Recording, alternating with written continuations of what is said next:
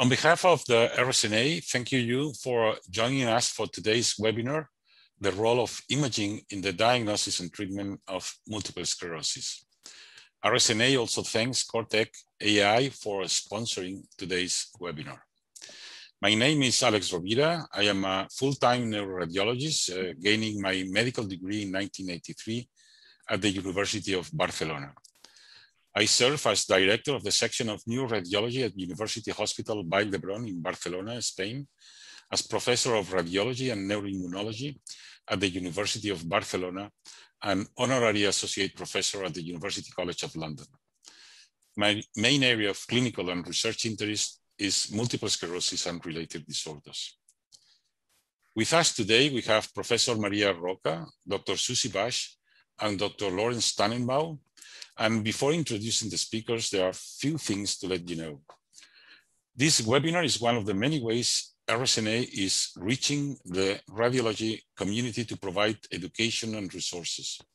Today's webinar will be recorded and available for free in the RSNA Online Learning Center, as well as RSNA's YouTube channel. Here is the um, disclaimer uh, of RSNA.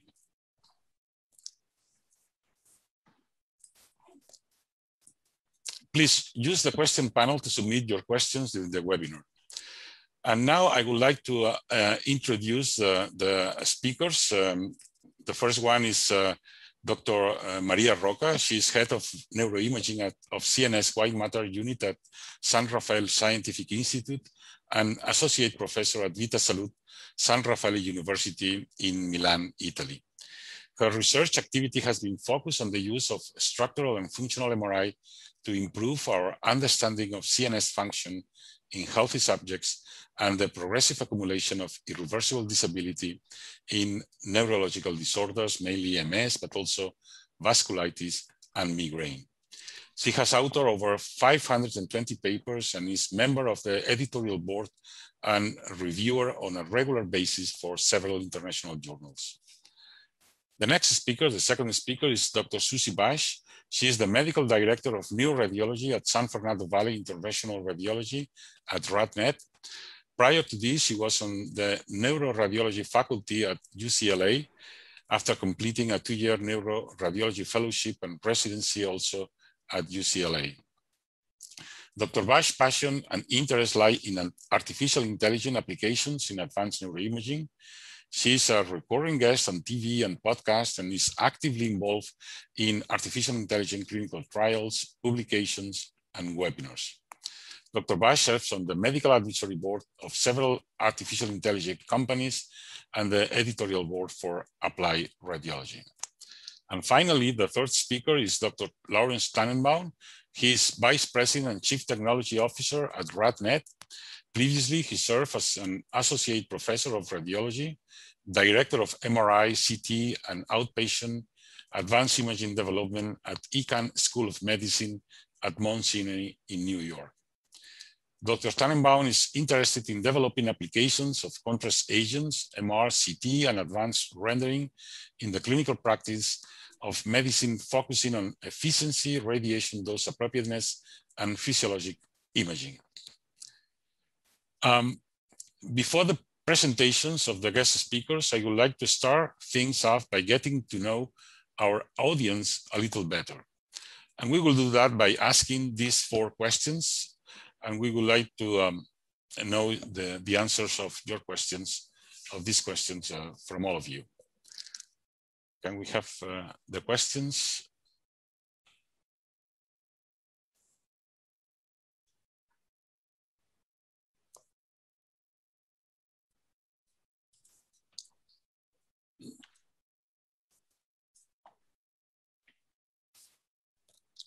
Well, the, the questions are, do you routinely use a tool for automated segmentation? The second one is, uh, do you routinely use a tool for automatic volumetrics? The third one is, do you routinely use a tool for the volumetric assessment of lesions in MS patients? And the last ones, are you or your colleagues exploring artificial intelligence-based applications for your practice? Please answer the questions and we will see the results at the end.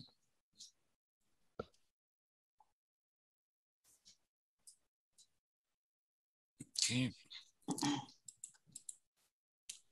So let me introduce the first speaker, uh, Dr. Maria Rocca, that uh, she will address the clinical needs and relevant questions like what do we need for diagnosis uh, and what measures should we use and when in our clinical or even in the research uh, scenario.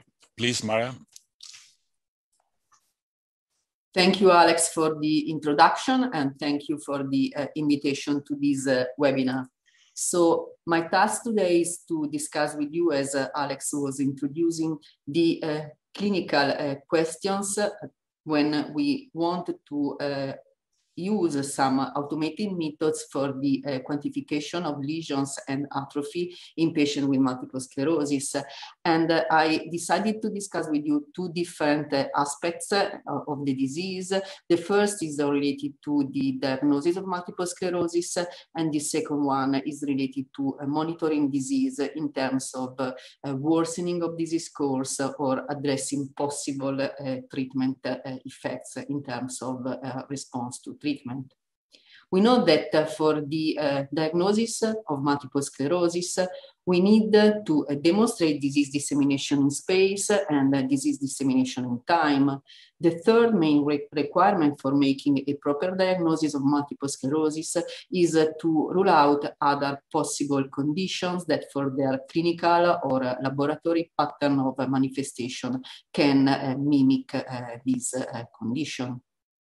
MRI has been formally included into the diagnostic workup of patients with multiple sclerosis in 2001 with the uh, McDonald diagnostic criteria. And the inclusion of MRI into this uh, diagnostic process was due to the fact that uh, there are some features on MRI which can be considered as uh, typical for multiple sclerosis in terms of uh, location of lesions, distribution of lesions, and uh, evolu evolution of lesions uh, over time. From their initial introduction, introduction into the uh, clinical practice, these uh, diagnostic criteria have been revised and modified several times over the course of the years. And I just want to remind you two major changes that have been done to these criteria. The first one occurred in 2005 when the uh, assessment of spinal cord lesions was included to demonstrate disease, disease dissemination in space while the, the second important change was done with the, uh, 2017 revision of the criteria when the assessment of cortical lesions was uh, informally included. So at present, to demonstrate disease dissemination in space, what uh, we need to have is at least one T2 lesion in two of the four CNS areas that are usually affected by the disease, while for demonstrating disease dissemination in time, just focusing on imaging, we need to have some measures of active inflammation, so or new T2 lesions or the uh, presence of gadolinium enhancing lesion. As I was mentioning before, one of the main changes uh, to the current diagnostic criteria has been the inclusion of cortical lesion assessment. And the assessment of cortical lesions is important because, as it has been demonstrated by several studies, it seems to increase uh, the specificity of these uh, diagnostic criteria, so reducing the, risk of misdiagnosis. The main issue we need to consider when assessing cortical lesions is that at present we do not have a standardized uh, sequence for a proper recognition of these uh, lesions, even if uh, different sequences have been proposed, including double inversion recovery sequences, PSIR sequences, or the old FLAIR sequences. Another question that we might have uh, for uh, concerning the diagnosis is whether we might think to develop some uh, algorithm based on artificial intelligence, which might help to have a automatic classification of patients as belonging to a given neurological condition. This is what we did, for instance, in this study that you can see here, where we developed a, a convolutional neural network algorithm, and we uh, compared the performance of this algorithm with the performance of two expert neuroradiologists in the classification of four different neurological conditions which are characterized by the presence of lesions within the one matter. As you can see from the number, the uh, algorithm the automatic algorithm outperformed the uh, two expert neuroradiologists for all these different conditions. However, there were different cases of misclassification also from the uh, automated algorithm. And this is important since we are dealing with patients at the beginning of a disease where we need to make a diagnosis and we also need to make some decision concerning a possible uh, treatment. So for diagnosis, it's clear that the simple evaluation of lesion burden, lesion number, lesion volume is not sufficient. We need to integrate what is observed from MRI with the clinical and paraclinical data. Another question might be whether we might be able to identify some distinctive MR features which could be considered as pathognomonic of a given condition. So for clinician, it's uh, extremely important to have some practical guidelines to be able to properly identify lesions that are characteristic of a given condition and also to have guidelines for a proper application of the uh, criteria for the uh, classification of patients and for the definition of disease dissemination in space and time. Concerning the uh, possibility to identify some pathognomonic features derived from MRI, the most appealing feature at this stage is uh, represented by the assessment of the uh, central vein sign, which seems to uh, categorize quite well patients with, uh, to separate quite well patients affected by multiple sclerosis from patients suffering from other uh, inflammatory mediated neurological conditions. The second aspect I would like to discuss with you is whether we can use different methods based on the uh, quantification of MRI measures to try to have an uh, assessment of the burden of the disease and also of the effects of treatment.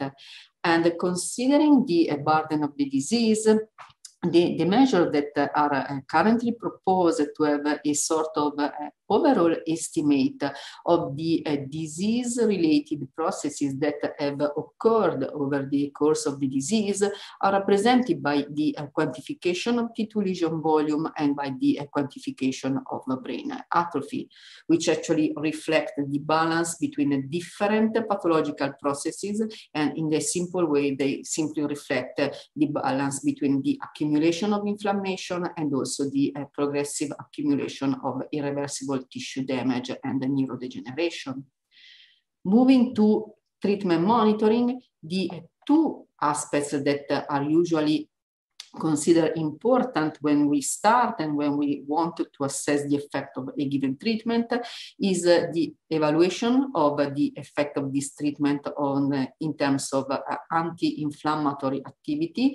And this is done usually by quantifying new T2 lesions and gadolinium-enhancing lesions and also in slowing down the progressive accumulation of irreversible tissue loss. So slowing down the progression of atrophy Considering the increasing number of treatment that we have and that the, and the fact that the majority of our patients is uh, currently under treatment another important point uh, that we need to consider when addressing an MRI and treatment is that we need to be able to recognize in an early stage possible treatment related side effects. And i'm i'm considering here not only the uh, the, the, the, issue of uh, PML, which is uh, well known to all the uh, radiologists, but also other issues that have been described with some of the newest treatment, which are mainly related to the possibility to develop different forms of infection. Considering disease burden, usually the assessment of a T2 lesion volume is done by using a, a manual assessment. This is usually considered as the, the gold standard for such a, an assessment. This is extremely time consuming, particularly when we have patients with high lesion load and suffer for a uh, low intra and inter-rater uh, reproducibility. This is why, as uh, you will hear from the next speakers, uh, there has been the, the, current attempt to try to uh, develop different automated methods for a proper identification and a, an automated uh, identification of uh, lesions, which can be done by using a single MR modality or by integrating different MR modalities, uh, covering the, the plane in different direction and this is, is, done not only for the assessment of lesions within the brain, but also for the assessment of lesions within the spinal cord it's clear that if we want to have an overall estimate of the accumulation of the uh, disease in our patients and of the effects of a possible treatment on this uh, disease, we need to combine these measures of uh, inflammation and measures of neurodegeneration. And while the assessment of inflammation can be considered as relatively easy since it's quite easy to identify new T2 lesions or uh, gadolinium enhancing lesions, I think that the assessment of neurodegeneration and the quantification of uh, brain atrophy uh, could be considered as more demanding. And if we think to include a brain atrophy quantification for the uh, monitoring of our patients, there are many, many different issues that we need to consider. There are different uh, technical, physiological, biological, and disease-related factors which can actually inf influence the uh, quantification of atrophy. And if uh, we wanted to use a measure of atrophy to judge whether a patient is doing well or not, and whether a patient is responding or not responding to a given treatment, the main question might be what is the clinical relevant cutoff to judge this, uh, this atrophy. So uh, to conclude, what uh, I would like to say is that uh, if we think to these automated methods, we shouldn't think to these automated methods as a replacement to the work done by clinicians, but possibly as an integration to the work done by the clinician in order to uh, facilitate the, the work of these uh, radiologists and neurologists. Thank you for your attention. Well, thank you very much, uh, Dr. Rocca. Thank you, Mara, for this uh, uh, nice uh, presentation. Uh, and now uh, we will start with the second speaker, Dr. Susie Bash, who will now review the clinical experience related to the use of quantitative MRI, including how these tools impact the efficiency and how to incorporate them into clinical practice. Susie, please. Thank you, Dr. Rovira. So, yes, multiple sclerosis is a debilitating and often progressive disease that affects younger adults. So, typically diagnosed between the ages of 20 to uh, 49. And you know the difficulty is that these patients often present with a highly variable clinical presentation. So they they really can present with a lot of different, a broad range of symptoms. And so this is why MRI plays a very key role in the diagnosis and in the longitudinal follow-up of multiple sclerosis. In fact, such an important role as, uh, as uh, Dr. Rocca was saying, it's even included in the McDonald criteria. Now, with MRI, it often has a very characteristic appearance. So, you know, Dawson's fingers, callosal, pericallosal lesions, lesions along the optic radiation and in the brain stem. Uh, as you see here in the lower right, we can get that central vein sign. Um, so MRI is often, we can often nail this diagnosis with MRI. Sometimes if there's only a couple lesions, it's ambiguous, but often to neuroradiologists, this is our bread and butter. And as soon as we open the scan, we can often detect um, uh, multiple sclerosis. So the thing that I think will be very, very useful and that I find very useful in my clinical practice is quantitative volumetric imaging as an adjunct to the MRI. And so that's why I'm going to spend some time talking about Now, if there does remain clinical ambiguity, CSF analysis for oligo, oligoclonal bands can also be um, obtained. So, quantitative volumetric imaging identifies and labels anatomic structures in the brain, and then it quantifies those volumes of the brain structures and compares that to a large normative age and gender matched database. And then that allows for volumetric tracking over time to assess for a rate of change. And this is very effective in reducing subjectivity. As Dr. Rocca mentioned, you know, once plaques, once you start to get a moderate or severe plaque burden, the plaques can become confluent and it's very hard to tell if there's progression. And when it comes to disease modifying therapies, that is really the most important component. Is the patient progressing and what can we do? Do we need to change the drug? So this is why this tool is extremely valuable. I've actually been using quantitative volumetric imaging in my clinical practice for about 15 years now. This is what the segmentation looks like for this particular product. There are other products out there that, you know, similar sort of segmentation arrangements, but so we use quantitative volumetric imaging for a lot of different clinical diagnoses. This is actually sort of a short list. There's a lot of products in development and other things that are used, but mainly multiple sclerosis, dementia, epilepsy, pediatrics, and traumatic brain injury. And then again, today we'll focus on multiple sclerosis. So the great thing is, is that quantitative um, volumetric imaging can identify and quantitate the individual plaques in the brain. So it can do individual lesion segmentation, as you see here.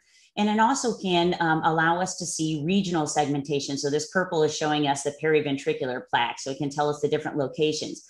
So in this example here, the red is leukocortical. These are the juxtacortical plaques. Periventricular is purple, infratentorial is orange, and deep white matter plaques are yellow. This happens to be the NeuroQuant package here.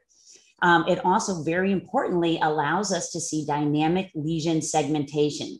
So this is another visual display where the uh, plaques that are increased in size or new are displayed as an orange and decrease is displayed as a blue. And that's very helpful. Again, when you have uh, hundreds of plaques to allow the software to jump out in a color coded manner to let you know which ones are new and which ones are improving, um, I find extremely useful. So this is what you would see on your um, PACS station, something like this, where these new or increasing plaques are this orangish color and the decreasing plaques are this blue color. And you see how easily that stands out.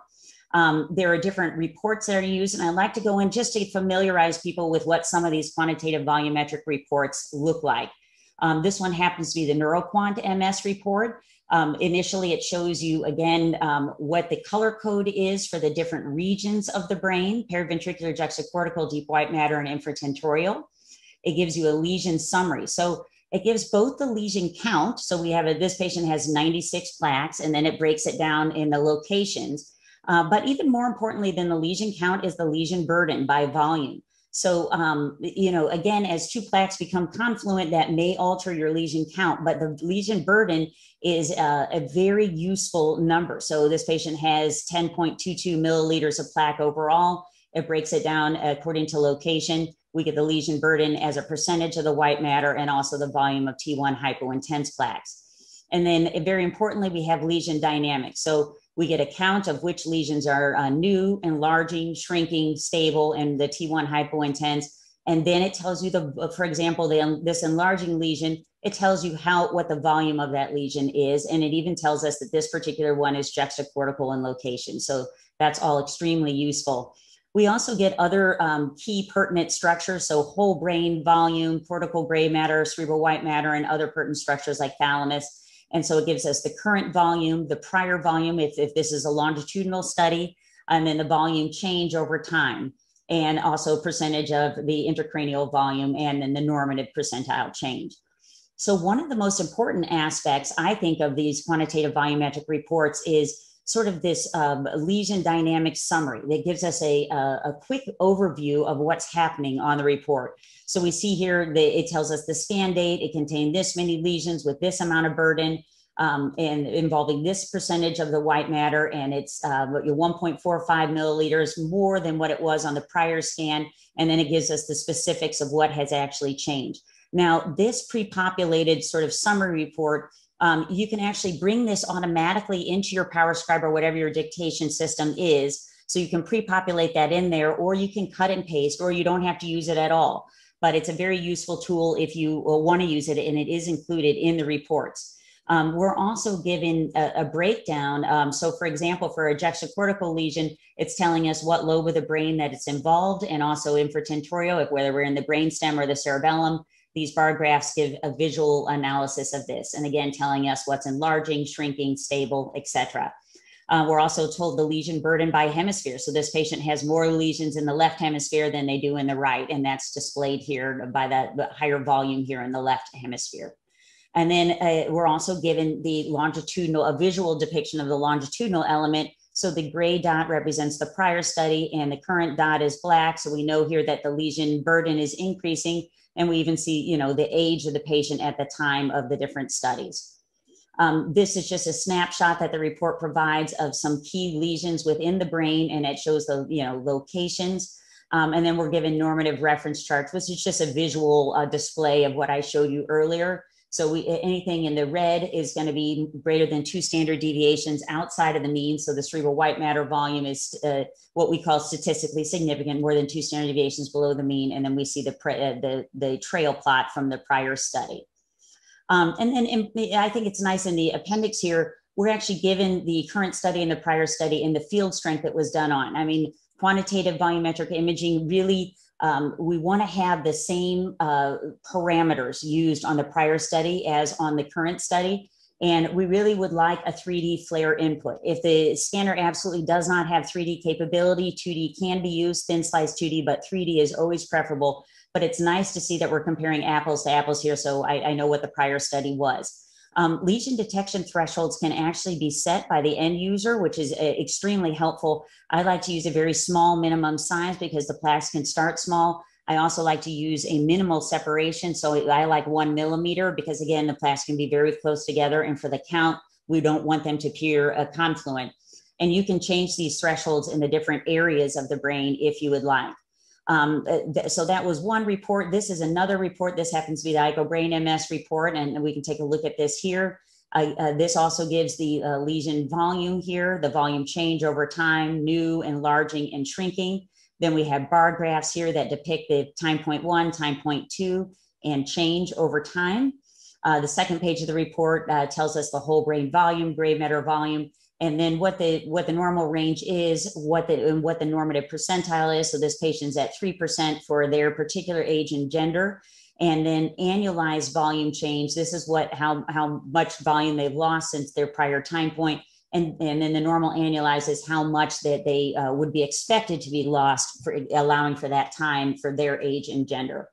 Um, this report also has a pre-populated reporting template that is again a summary report that can be pre-populated into your own um, dictation if you would like. So one of the questions I often get asked is, um, does this, do these quantitative volumetric tools enhance productivity? And we're all extremely busy as radiologists and most radiologists operate on an RVU system and we want to uh, provide the best value. These reports clearly provide uh, value.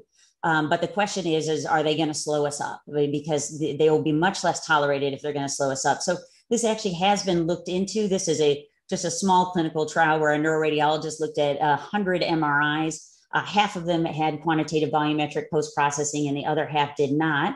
Um, and, and, and again, that included the pre-populated reporting template. And, uh, and, and, and timed and presented in a randomized manner from 11 different imaging sites. And it turned out that the neuroradiologist could read eight, um, uh, eight MRIs on MS patients uh, without the quantitative volumetric software and 13 with it. So 60% more reports were dictated an hour when quantitative volumetric post processing was used. So that's very encouraging. And we like to also on at, at RadNet where I work, um, we also like to drop on our prescription pads the uh, a click box for quantitative volumetric imaging and then they can just check which protocol they want to use. So obviously the reports are going to look different for the different clinical indications. So they, they would just click MS. And this makes it nice and easy for our referrers um, to see it, that we offer this technology and for them to use. So as Dr. Rocca mentioned, you know, there, there are specific things that we like to use for the protocol. In October 2019, the MRI Consensus Guidelines Conference was held, and that's really a collaboration of multiple stakeholders in MS patient care and in neuroimaging. A lot of different groups were represented there, and the goal was really to develop um, internationally accepted recommendations to standardize the MRI protocol for MS. And the most important new thing that came out of the meeting is, again, this emphasis on the 3D FLAIR. So they really only recommend 2D, thin slice 2D if you don't have 3D capability. Um, and then we want those displayed in both the sagittal and axial plane. And the, uh, the other advantage, not only being more, much more sensitive if you have a 3D FLAIR, but it also can save time because if you only have 2D, you're going to need to do two acquisitions in the sagittal plane and axial plane. But for 3D, you can just acquire, for example, in the sagittal plane and reformat in the axial plane. So that will save time. Um, they would like a, two, a T2 and a DWI, which are routine sequences that we use anyway. And then if you're considering quantitative volumetric MRI, which I would strongly always consider uh, to acquire a 3D T1. And this, you can do this on any 1.5 or 3T magnet essentially. So this is a, an easy thing to acquire. The GRE or SWAN is optional for MS, but really, you know, GRE is part of the routine standard brain imaging protocol in most places anyway, and also can be useful for the central vein sign. You can see the central vein sign on FLAIR or T2 or GRE, but it, the GRE can be useful for that. And then the other big emphasis is on gadolinium. So gadolinium is always encouraged for the baseline MRI, but then after that, you know, these patients come back every six to, you know, 12 months or so for, you know, follow up studies. So after that, you know, really only uh, if clinically indicated. So if the patient has highly active disease or unexpected clinical worsening or some kind of diagnostic uncertainty, or there's going to be, a change in the disease modifying therapy or things like that, that, that you really want to use the contrast for, um, you absolutely can but you don't need to use contrast for longitudinal follow-up. So that's another important thing that came out of that meeting. Um, another thing i have been asked before is, is it possible to effectively apply more than one AI solution to obtain the benefits of both tools, you know, while still maintaining image quality and accuracy? So a routine brain MRI often takes 30 to, you know, 40 minutes, and that's including table, you know, on the table, scan time, and off the table. Um, but we really would like to get our exam slots down lower. So at RadNet, we actually use 15 minute exam slots for uh, brain studies. And there are certain, we can use certain AI tools to allow us to do this. So this is deep learning um, reconstruction, and it allows us, in this particular case, we, to acquire images 67% faster. This particular deep learning product happens to be Subtle MR, um, and which can be which is vendor neutral, can be applied to any scanner in your fleet, which is great for if a large imaging enterprise such as ours at RadNet. Um, and also, uh, so any age scanner, any vendor, but also the all major OEMs are developing deep learning uh, reconstruction or at different levels of fruition for FDA approval. But several of them already have FDA approval, and it does the same thing. And so you can see this is a standard image. Uh, when you accelerate, the image becomes blurry and at lower resolution. And then once you re- uh, reprocess this with deep learning, you can see that the image uh, quality is restored. In fact, um, higher than perceived higher than even the standard of care. So here's the original, and this is what it looks like after deep learning. Again, original, and this is after deep learning. And why am I mentioning this? I'm mentioning this because this can actually be very useful to combine with quantitative volumetric imaging. So here we went 50% faster, and then we applied quanti- you know, quantitative volumetric imaging. Here are the plaques. You know, sometimes these patients have a lot of, you know, symptoms and it's uncomfortable for the patients to be stuck in the scanner for long times. So this is a great thing to combine with quantitative volumetric imaging.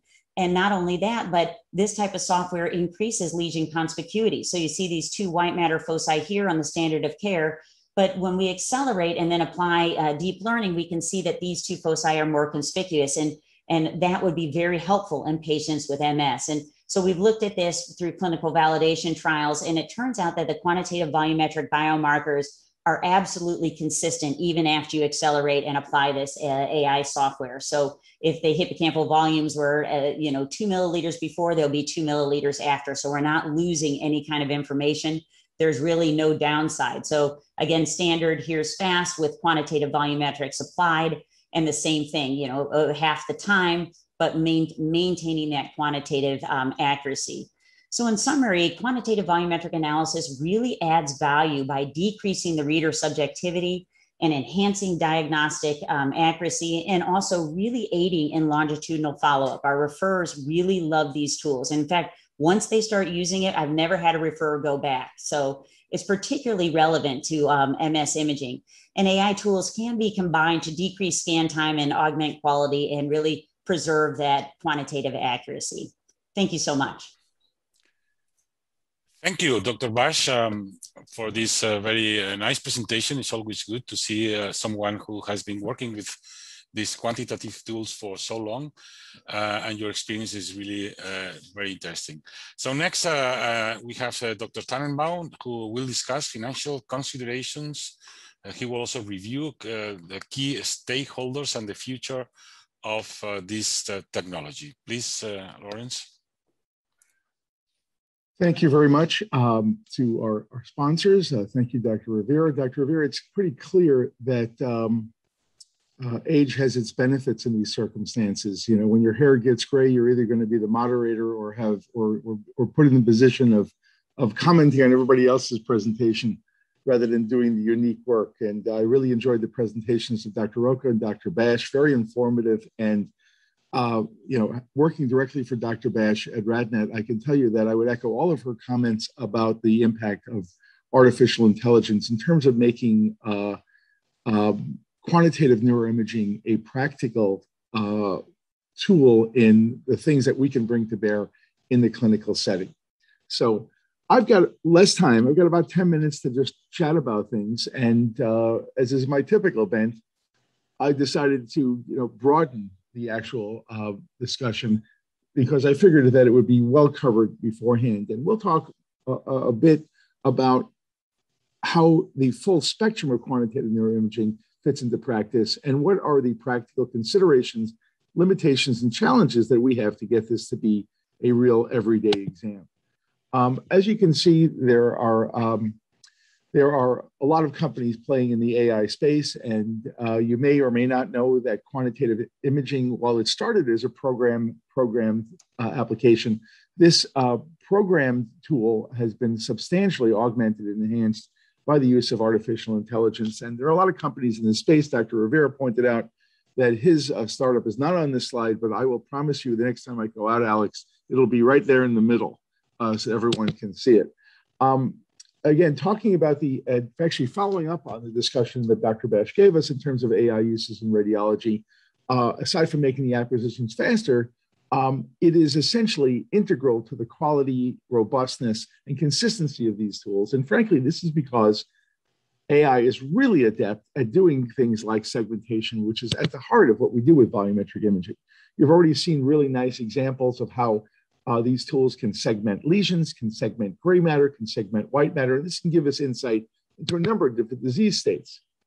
You've already heard how these tools can be applied in MS, and that is the primary focus of this presentation. But frankly, when you think about these tools, they're applied every day in the evaluation of patients with cognitive impairment, uh, uh, early, early dementia, and uh, are used in terms of uh, taking the MR examination from ruling out a treatable cause, quote unquote, that might be neurosurgical, into identifying different subtypes of, of dementia and actually assessing risk in certain circumstances. It is also a valuable tool in looking at patients with epilepsy, perhaps looking for more subtle lesions or bilateral disease.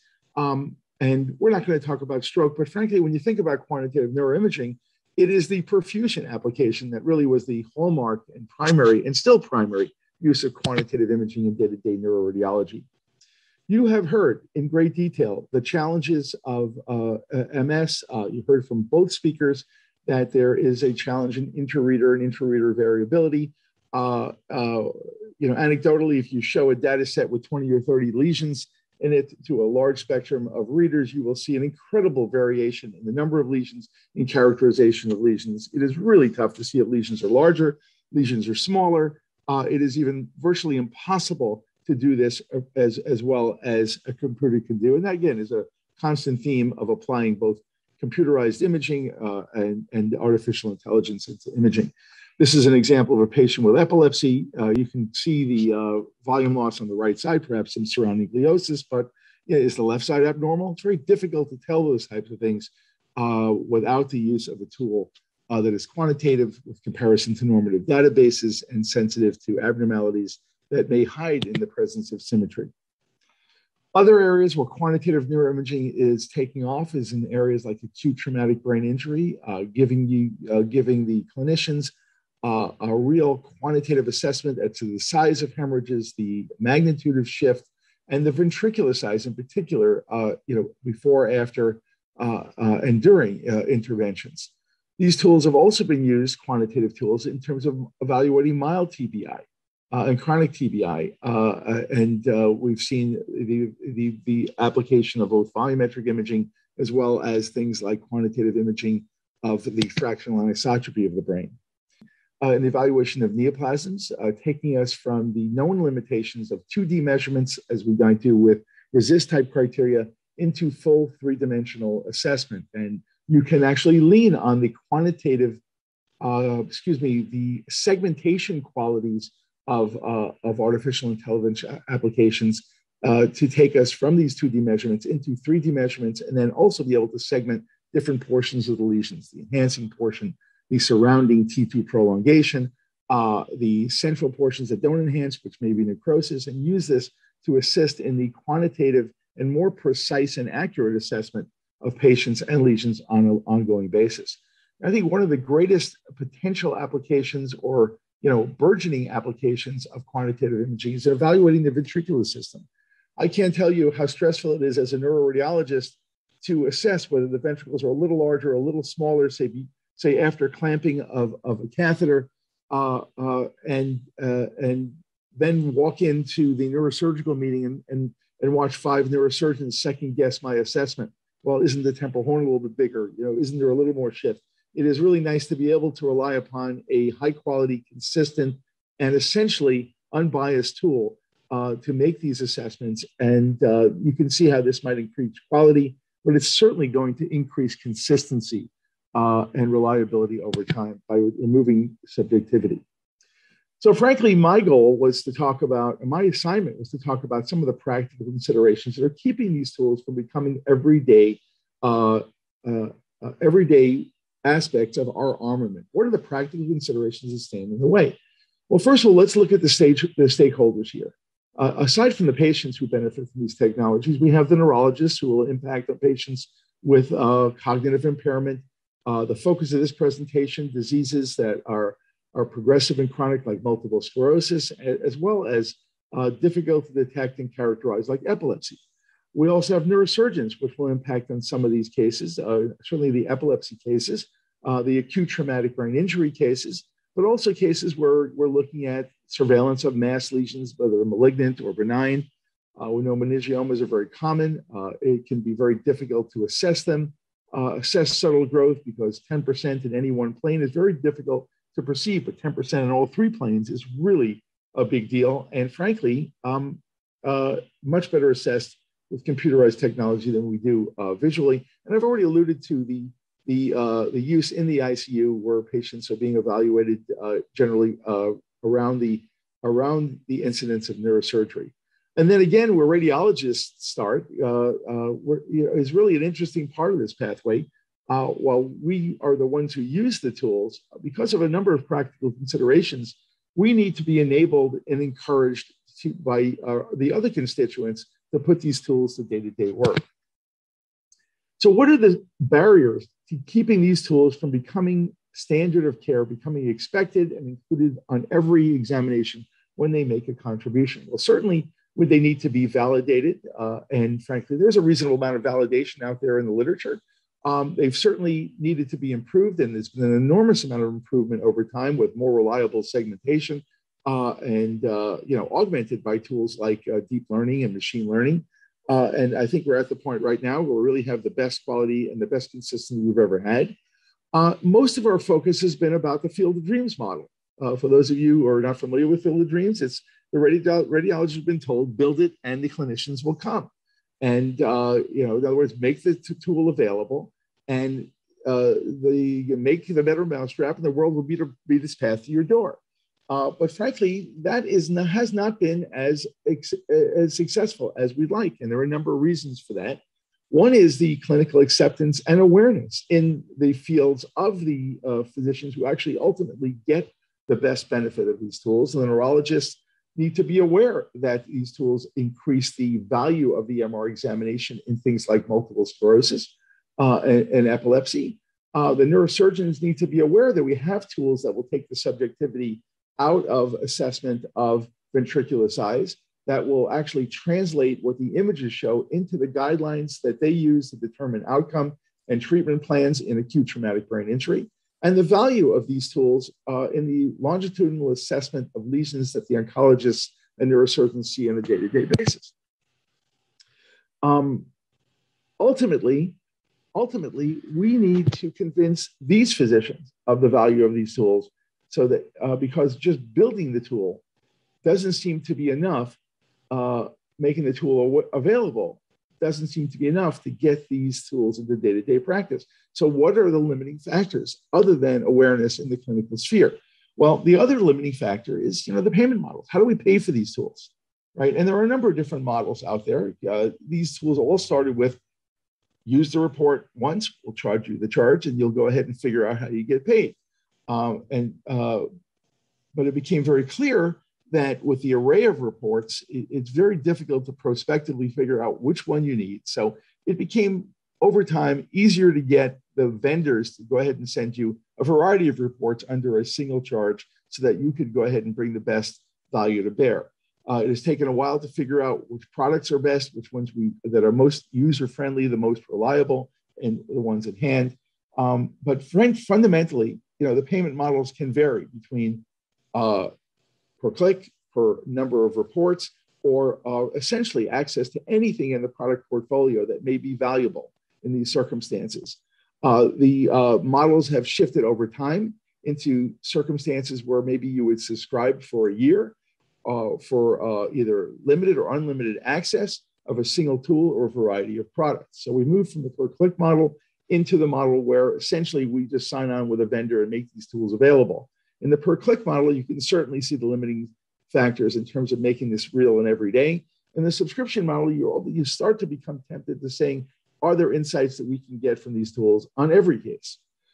The limiting factor here, however, is these tools come with a charge, and it is challenging for us to apply a tool on our own volition if it indeed increases the cost of the examination.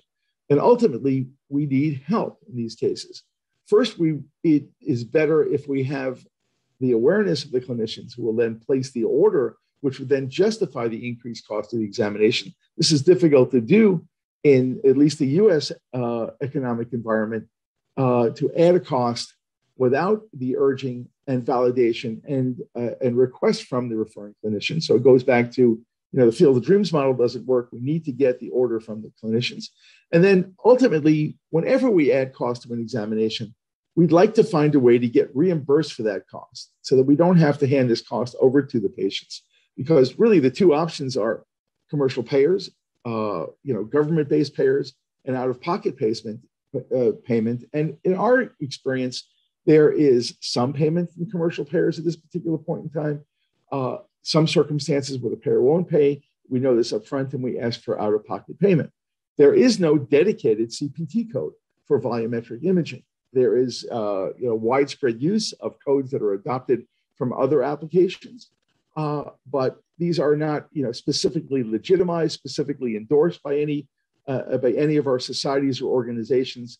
So ultimately, it isn't the ideal solution uh, for what we for how we go forward. So ultimately, we need for these tools to be used, to be requested.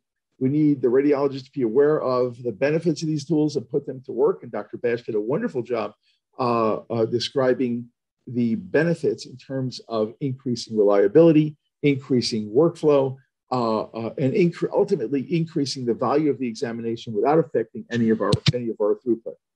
So um, we've talked about a lot of different things, and we'll certainly have a free-form discussion on all of these. I tried to give a broader application of the, a broader discussion of the application of quantitative neuroimaging. Uh, I think all of the three speakers, um, uh, certainly the other two speakers, did a wonderful job uh, talking about the impact of these tools.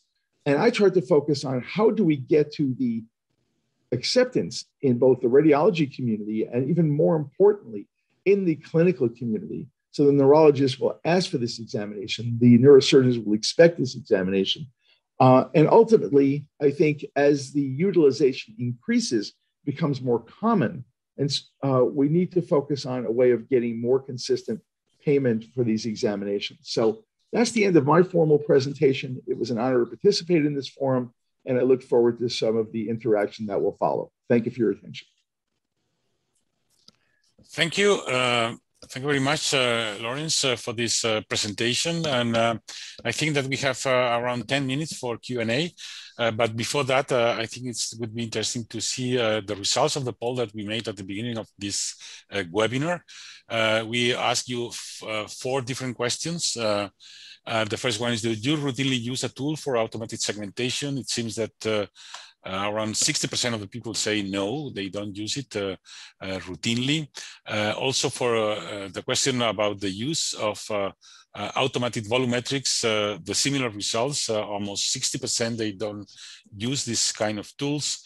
Um, the third question was, do you routinely use a tool for the volumetric assessment of lesions in MS patients? And also 60% say no. And finally, the, the last question is, uh, are you or your colleagues exploring artificial intelligence-based applications for your practice and uh, similar results, uh, but in the other way around, that 60% of the people is uh, saying yes. So I think that uh, the results are uh, I think that are quite good in the sense that around 40 people, 40% of the people are using some kind of tools as the ones that you mentioned during your presentations. So good, uh, interesting uh, results of the of the poll. Um, and then um, I have uh, several questions from the audience, but before starting with these questions, I have uh, a couple of questions. Uh, and the first one is um, uh, I would like to address the question to, to Dr. Rocca. Um, and I know I'm aware that you've been using quantitative MRI based measures for a long time, but particularly for research. But um, what do you think? What is the limitation that you see as a clinical neurologist in the uh, implementation of these uh, tools uh, in clinical practice? Um, okay, um, if we, we thank you for the question if we think to implement these uh, tools in clinical practice, I, think it's uh, important to uh, differentiate the, the, the, um, the, type of patients we want to study. So I, I think that, that, there are many different issues when we want to implement these tools in clinical practice. The two main points is that we need to have a standardized acquisition protocol, as it has been uh, already uh, said by uh, Dr. Bash. It's important that the patient is studied on the same scanner with the same sequence in order to be able to, to apply this method. And this is usually difficult to be obtained in clinical practice, at least here in Italy and in Europe. I, I don't know if in the USA is, is different. Uh, the other point is that it might be difficult to implement this tool in the diagnostic workup of patients with MS because this might result in a, a, a even increase over diagnosis of MS because uh, we, we need only two lesions uh, and these, uh, these tools will, uh, will detect much, much more than the two lesions uh, needed to, to demonstrate disease dissemination in space or time. So it will be extremely important uh, to perform a careful integration of the results obtained with this tool, with the results obtained from clinical evaluation and from other laboratory testing in order to try to control for this risk of overdiagnosis. Thank you. Um, then I have uh, one question from the audience uh, uh, that I think that uh, should be addressed to uh, Dr. Bash. Um, and uh, also fits quite well with the comments made by Dr. Rocca in the sense that how do you report the, the volumes or the data coming from these automatic tools? How do you integrate these atrophy measures together with your visual assessment of, of the uh, scans and your interpretation based on your experience and knowledge. So you combine both, or, uh, or in other words, how do you manage the, the false negative or false positive results that you can get from these tools? Okay, yeah, so that's a, a great practical question. Um, I break my report into two sections. So one is just the MRI interpretation alone. So I, I first interpret the MRI, uh, you know, without looking at the quant tool. Then I have a second section of my report that has the quantitative volumetric imaging section. And in that, I put the plaque burden and then the change and also where the plaques are primarily located. And so all of those components are added under a separate paragraph um, the as we were talking about, you know, quantitative volumetric imaging is only as good as the accuracy of segmentation. But you know, I, again, I've, I've been using this for about 15 years, and I see the different iterations as the um, versions um, improve over time. we are now at a place that um, the segmentation is actually very good. And you know, most of the segmentation can be done with machine learning, although there are uh, there are some um, in, in some areas that deep learning can be used as well to even improve the um, accuracy of the segmentation, particularly in the um, infratentorial region and juxtacortical regions, which are because we use a FLAIR input, and sometimes lesions in these locations are better visualized on T2. Um, but in general, the segmentation is is very good at, at this stage, um, at least with the leading companies that are out there right now. But you know, as you've mentioned, you know, it's not it's not a perfect science. So sometimes there can be a false positive or false negative. Um, if I if I think that there is something really relevant, I might add that into the quantitative. You know, it's just sort of a sideline um, that there is. But in general, the the plaque burden um, is does tend to be accurate um, in terms of because I can visually see the segmentation. And really, probably what's even more important than whether you have the perfect amount, uh, a perfect uh, volume every single time, is that you are accurately depicting change over a uh, longitudinal study, because that's really what the neurologist needs to know. So let's say there was one false positive if that if you reprocess using the same protocol and the same scanner or, and it doesn't necessarily need to be the same scanner but it should be the same protocol um, then if, it, there is another false positive at the follow-up time we're still getting the information that we need to know because we're, t- we're it's telling us overall if the lesion burden has increased Okay, thank you very much. Uh, I have another question, uh, a very practical question that I will address to Dr. Tanenbaum. And the question is, um, how expensive are these tools? We know that in certain countries, uh, it's not so easy to to um, to receive reimbursement for these uh, assessments, uh, and uh, and therefore it's uh, really difficult to implement these uh, these tools. So, um, any comment on on the cost of these additional tools? I think that also we need to consider I would like to know your opinion. Uh, the, the, cost of these tools in the context of the cost of MS, of MS in general, uh, treatment uh, uh, in in these patients. So, what is your opinion on that? Well, it's that's a, a whole bunch of questions. So let's not forget the last question. Don't let me leave without the last one because I think the last one is really uh, the more interesting one. Um, these tools have a cost. The short answer to this question is too much, right? Everybody would agree to that. Everything costs too much. So let's just say that. Um, and you, what folks may not know is that all of these things tend to have different prices in different countries based on what the market can bear.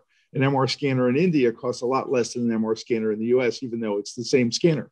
Um, so I really can't comment. It is a relatively modest cost in the US. You know, I would say maybe 10 or 15% added on to the cost of the MR examination if you were paying for it, say, out of pocket.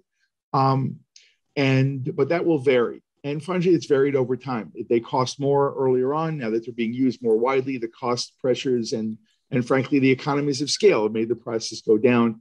Uh, certainly, one of the limiting factors before this becomes standard of care would be an even lower cost. But right now, I would say the costs are manageable.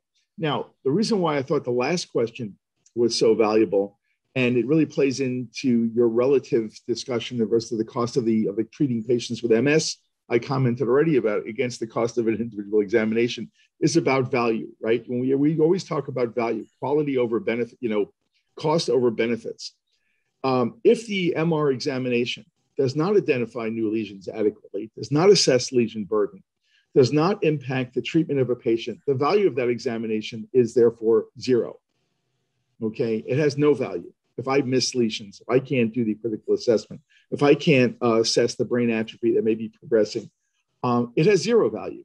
So by adding this capability to the examination, uh, augmenting and increasing the functional uh, benefits of radiologist alone to radiologist and machine, uh, the value goes up, you know, in an infinite fashion. So frankly, um, the cost is modest, although variable. The impact is substantial, almost as much as to add value where there is none without the tool. And frankly, that's the way we look at it. So it would be wonderful to get reimbursement. This will be regional. It will be uh, regional on a worldwide basis, um, as will the cost. But ultimately, uh, I think patients are better served. Uh, the clinicians who treat them are better served. uh, if we find a way to get over those limitations and integrate these tools when they're necessary in clinical practice. Thank you. So I think that uh, it's almost uh, time to finish this webinar, but I think still we have some time for a, for a, an additional question, and and this is also a very practical one, and and and I maybe I can ask this to to Susie is uh, uh, what about um, your experience in the uh, reproducibility of this uh, uh, volumetric uh, quantitative data when you use different scanners or when you are using different tools? Because if you want to compare for example if you use tool A and compare to assessment made in tool B are there different uh, there are any study that compare how uh, robust are the different tools available? What is your experience on that?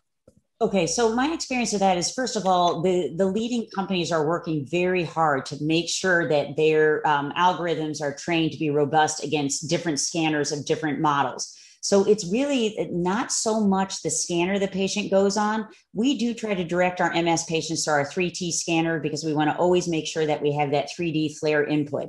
It is it is very problematic if you're comparing a prior study that was done with a 2D FLAIR input um, it's slightly thicker slices possibly, and then they come for a follow up with a 3D FLAIR because the 3D FLAIR is going to detect more lesions. So that's going to impact the volume. The volume will be higher on the 3D. So, but as long as you have 3D FLAIR inputs on both, and you're matching the same, you know, then it really doesn't matter as much what scanner they go to, as long as that protocol remains consistent. And another uh, component of that is that these versions get better over time. You know, every year or so, the, the, the leading companies will release new versions and they do a better even even better job. Again we're at a point now where the segmentation is really outstanding. So but what you want to do is you don't want to just look back at the prior report and say okay my volume is is eight milliliters now and the prior volume was six milliliters. I can see it on my PACS system from two years ago. What you always want to do is have the text push the prior study uh, the pertinent sequences. So they'll push the 3d FLAIR and the 3d t1 to through the portal through an, the, the cloud portal to the company that they're using. And then that prior study gets incorporated and reprocessed. You push the prior first then you push the current. And then that gets reprocessed and combined together in one current report. And the reason why that's essential is because now both the prior and the current are processed under the current version of the software which is going to be a better version than the previous version and so that's that's extremely important for the just the technologist to know that that's how we do it that's it's much more accurate way of doing it Okay, so thank you very much. Uh, uh, I think that uh, also is extremely important, as you already mentioned, to, to follow a, a high quality um, uh, standardized MRI protocol. In that fact, I would like to recommend you uh, the recent uh, guidelines and recommendations published in Lancet Neurology by different groups in North America and in Europe. I think it's, it's really important to follow these guidelines. And with that, I think that we can really improve the, the, the, the output uh, provided by these uh, tools. With that, I would like to thank uh, today's uh, faculty for sharing uh, your experience on, on this uh, topic and Cortechs AI for sponsoring today's webinar and also to our audience. Thank you, you also for attending today's webinar and have a wonderful rest of your day. Thank you very much all. Thank you. Bye.